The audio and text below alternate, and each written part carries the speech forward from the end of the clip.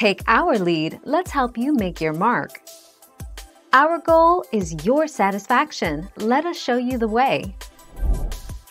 Option 1. Log on to Turo and open your Trips tab. Tap on the notification about the balance due. When you reach the checkout screen, you'll be prompted to pay your balance due before you can submit your trip request. Thank you for watching. Please subscribe and hit the bell notification.